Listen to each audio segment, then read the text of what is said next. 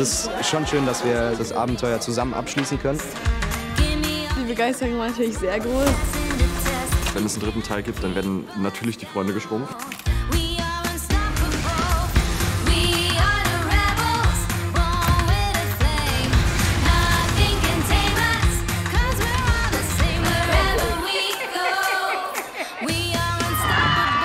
Das wird fett.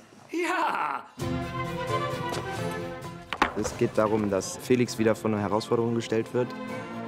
Es kommt ein neues Mädchen an die Schule. Felix fühlt sich mit diesem Mädchen sehr nahe. Keiner kann sie so richtig einschätzen, weil sie ganz viele verschiedene Seiten zeigt. Zum Beispiel zu Felix immer total nett ist, aber zu seinen Freunden dann eigentlich komplett das Gegenteil. Die hat doch voll den Knall. Oder Felix? Ich finde sie ganz okay. Sie gehört zu Hulda, aber ähm, im Laufe der Geschichte erkennt man dann, dass sie es eigentlich nicht ganz freiwillig. Hast du es? Hier. Ich habe meine Abmachung eingehalten. Ich fahre jetzt nach Hause. Du wirst mich nicht enttäuschen. Da kann man schon so ein bisschen Spaß haben.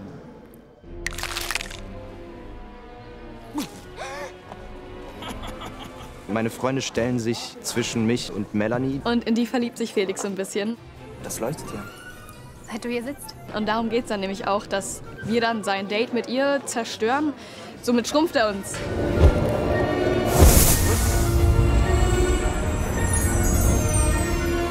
Das ist noch mal eine Nummer mehr Abenteuer, da jetzt auch noch eine Klassenfahrt stattfindet. Wer hat denn Lust auf ein bisschen Stimmung?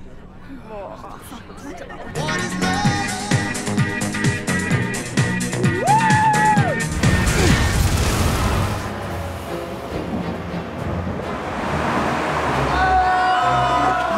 uns hier in Köln in den MMC-Studios im Greenscreen. Our main guys are shrinking.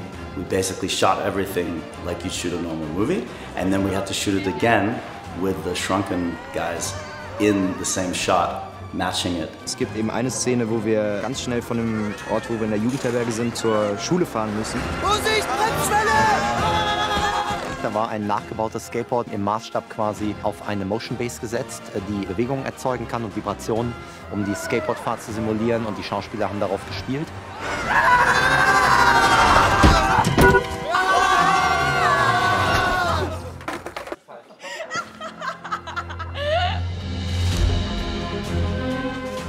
Ich und Axel haben einen Bären runtergetragen und äh, wir müssen da jetzt auch stürzen, aber Gott sei Dank gibt es dafür einen Stuntman. Und dafür haben wir den, den Diego aus Italien hier. Ich bin der Stuntman von äh, Michael. Machen wir es einfach noch einmal. Ja. Ist so gut äh, Aktor. Hat er selber gemacht, den Stunt. Wirklich? Ja, das war lebensgefährlich. Ja. Ich habe auch gesagt, bist du crazy? So? Er ich wollte's mach machen. meine Stunts immer selber. Na klar. Für uns war ganz, ganz wichtig, dass ähm, unser Regisseur Zugang zu den Jugendlichen hat, also dass der genau weiß, äh, was denen gut gefällt. Er ist immer für einen da und ist liebevoll und ähm, nimmt sich Zeit. Er zeigt uns eben genau, was wir machen könnten und er lässt uns eben auch diese Freiheit, selber was auszuprobieren. Es ist super nett, es bringt super viel Spaß, mit ihm zu drehen. Das ist so ein großes Herz auf zwei Beinen. Das macht Spaß, mit ihm zu arbeiten. Auf den Grants kann ich natürlich nichts kommen lassen, weil Grants ein Freund von mir ist tatsächlich. Den kenne ich schon seit über 20 Jahren und mit dem habe ich schon 10 oder 12 Filme gemacht. Axel, I know for a thousand years. It's like family. Außerdem heißt es so wie meine Heimatstadt Graz.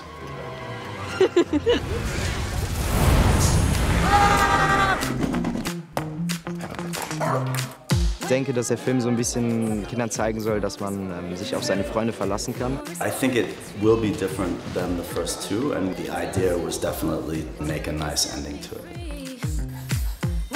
Der große Unterschied ist wirklich, dass wir älter sind und deswegen ganz viele andere Gefühle und Emotionen mit reinkommen. Wir haben auf jeden Fall ziemlich viel Action drin. Oh yeah. Achterbahnfahrt der Gefühle. Ich glaube, das wird sehr emotional und traurig, wenn wir uns verabschieden müssen.